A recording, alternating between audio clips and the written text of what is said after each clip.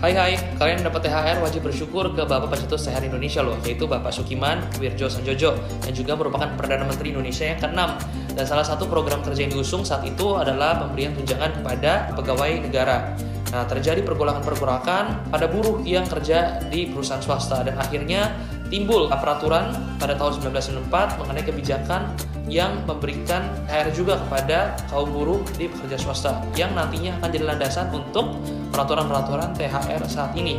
Nah, bagi yang sudah nah, saat ini ya sudah mempunyai masa kerja minimal 12 bulan, uh, mereka akan diberikan THR sebesar upah gaji selama satu bulan. Tapi yang kurang dari 12 bulan biasa bersifat prorata ya, sesuai dengan uh, berapa lama dia sudah kerja di perusahaan tersebut. Nah, buat perusahaan yang nggak memberikan THR ini bisa nanti kena sanksi dari pemerintah juga. Nah, THR ini nggak hanya di Indonesia loh, tapi juga di luar negeri. Tapi namanya itu yaitu holiday allowance ya. Semoga bermanfaat.